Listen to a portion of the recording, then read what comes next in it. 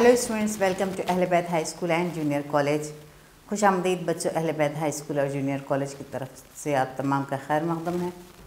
बच्चों, आज हम पढ़ेंगे ज़बान अव्वल उर्दू, जमात चाहरों का छठा सबक रोबोट मौजूदा दौर में साइंस की तरक्की की वजह से हैरत अंगेज़ मशीनें ईजाद हैं, जिनमें रोबोट भी शामिल है। अब हम रोज़मर्रा की जो मशीनें इस्तेमाल करते हैं, इसमें ग्राइंडर मशीन है, वॉशिंग मशीन है और बहुत सी ऐसी मशीनें हैं जो डिस्क वॉशर है। ये तमाम मशीनें इंसानों के काम करती जो पहले इंसान करते थे, वो अब ये मशीनें करती तो साइंस ने ऐसी ऐसी तरक्की की है, इसी में एक रोबोट भी। जैसा कि हम सेल फ़ोन इस्तेमाल करते हैं, ये तमाम क्या है, साइंस की तरक्की की मिसालें हैं। तो रोबोट भी इन्हीं में से एक है। झेल के मजमून में रोबोट और उसके कामों की तफसीली मालूम दी गई। रोबोट क्या क्या काम करता है, उसके बारे में अब हम जानेंगे।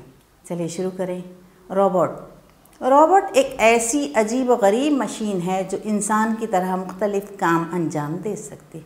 वो तो बिल्कुल इंसान की तरह तीमारदारों की तीमारदारी उन्हें वक्त पे दवा देना, उन्हें गज़ा देना, ले जाके खिलाना, ये तमाम चीज़ें रोबोट करते हैं। रोबोट चेक जबान का लफ्ज़ है। असल लफ्ज़ रोबोटा था जो रोबोट हो गया। रोबोटा के मायने हैं नौकरों का काम।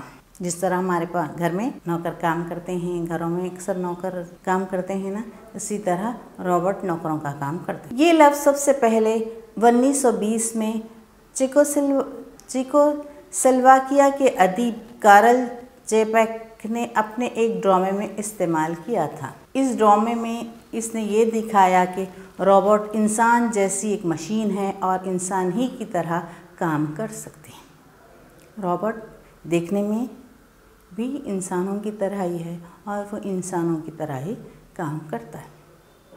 रोबोट फैक्ट्री में बनाए जाते हैं और फिर इन्हें इन लोगों के हाथ फ़रोख्त कर दिया जाता है जो कम तनख्वाह पर अच्छा काम करने वाला नौकर चाहते हैं।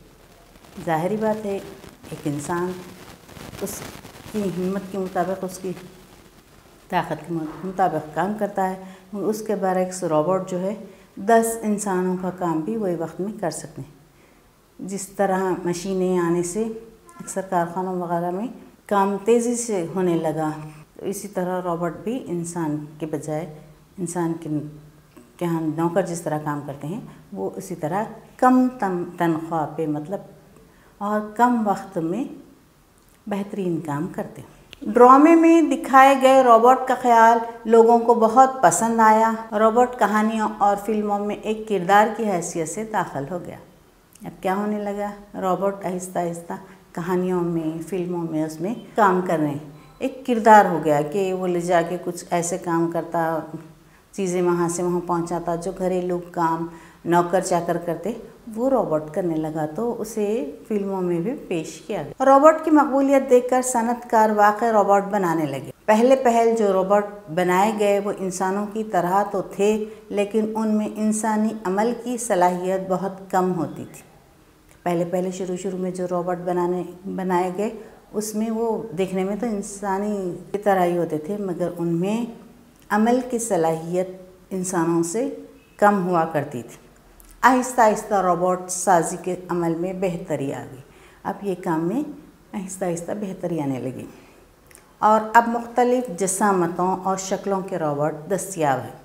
मतलब जसामत मतलब साइज़ मुख्तलिफ़ साइज़ के रोबोट, मुख्तलिफ़ शक्ल के वो रोबोट्स अब दस्तियाब हैं। बाज़ इतने छोटे होते हैं कि इन्हें औज़ार और आलात में शुमार किया जा सकता है। बाज़ रोबोट इतने छोटे होते हैं कि उन्हें औज़ार हैं या आलात हैं, उस तरह इस्तेमाल किया जाता है। हम रोबोट को मंदरज झील किस्मों में तकसीम कर सकते हैं। अब इसके हिसाब से हम रोबोट को मंदरज झील किस्मों में तकसीम कर सकते हैं। मतलब कितनी कस्में बता रहे हैं यहाँ पर? तीन किस्में बता रहे हैं। पहला है घरेलू रोबोट, दूसरा है दफ्तरी रोबोट और तीसरा है सनती रोबोट। इन तीनों किस्म के रोबोट में कई बातें मुश्तरक हैं, जैसे चलना, चीज़ों को पकड़ना और छोड़ देना और एक जगह से उठाकर दूसरी जगह रख देना वगैरह। अब ये तमाम काम तो घर में भी, दफ्तर में भी और सनत में भी होते हैं ना, कि रोबोट का चलना, चीज़ों को पकड़ना, चीज़ों को छोड़ना, कि चीज़ों को यहाँ से वहाँ ले जाना, ये तमाम चीज़ें तो ये तीनों किस्म, किस्मों में हैं। इसके अलावा कुछ काम ख़ास भी हो सकते हैं। मसलन, घरेलू रोबोट छोटे बच्चे की देखभाल कर सकते हैं। घर में अगर रोबोट है तो ऐसे रोबोट, घरेलू रोबोट क्या करते हैं? छोटे बच्चों की देखभाल के लिए। कि काम करते हैं। उन्हें टाइम पे क्या खिलाना है, क्या पिलाना है। क्या करना है? वो रोबोट करते हैं। घर की चौकीदारी मतलब वॉचमैन का काम भी वो लोग करते हैं। सफ़ाई कर सकते हैं, घर की साफ़ सफ़ाई। और बावर्ची खाने में कई अहम काम अंजाम दे सकते हैं। और बावर्ची खाने में कई अहम काम अंजाम देते हैं। कौन? घरेलू रोबोट म्यूज़ियम में रोबोट लोगों को म्यूज़ियम की सैर करा सकते हैं। जिस तरह गाइड ले जाकर म्यूज़ियम वगैरह में सब चीज़ें बतलाता है, उसके बारे में बताता है, उसी तरह रॉबर्ट म्यूज़ियम में लोगों को म्यूज़ियम की सैर करा सकते हैं। पोस्ट ऑफिसों में डाक की तकसीम का काम भी अंजाम दे सकते हैं। पोस्ट ऑफ़िस में डाक की तकसीम का काम भी रोबोट अंजाम दे सकते हैं। इनमें चलने के लिए पहिए लगे होते हैं। ऐसे रोबोट जब चलना शुरू करते हैं तो इनमें लगा हुआ सायरन बजने लगता है ताकि लोग इनके रास्ते से हट जाएँ। और एक और एक किस्म है रोबोट्स की। जो जिनके पैरों में पहिए लगे होते हैं, वो ऐसा करते हैं कि जब वो लोग चलना शुरू करते हैं तो एक उनके साथ एक सायरन लगा होता है, ताकि लोग उनके रास्ते से हट जाएँ और वो चलते चलें, रुके नहीं। अगर रास्ते में कोई रुकावट आ जाती है तो वो खुद ब खुद रुक जाते हैं। अगर रास्ते में कोई रुकावट आ जाती है तो वो खुद ब खुद रुक जाते हैं, वरना वो चलते ही रहते हैं। अक्सर रोबोट तब बरक़ी तोानाई से चलते हैं।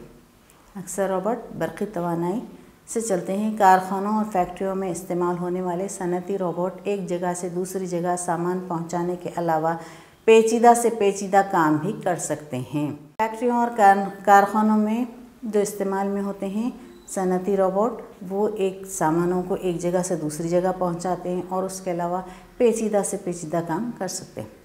रोबोट ऐसे काम भी अंजाम दे सकता है जो इंसानों के लिए ख़तरनाक होते हैं। अब यहाँ पर ये बात भी है कि रोबोट ऐसे काम भी कर सकता है जो इंसानों के लिए ख़तरनाक होते हैं। रोबोट के लिए हिदायतों का खाका मरतब कर दिया जाता है। रोबोट जब बनता है, बनाते हैं तो उसके लिए ये ये हिदायतें हैं बोल के उसमें फ़िक्स कर देते हैं तो वो उसके हिसाब से ही काम करता है। रोबोट ठीक उन हिदायत के मुताबिक अपना काम अंजाम देता है। वो एक थोड़ा सा इधर नहीं करता, इधर नहीं करता।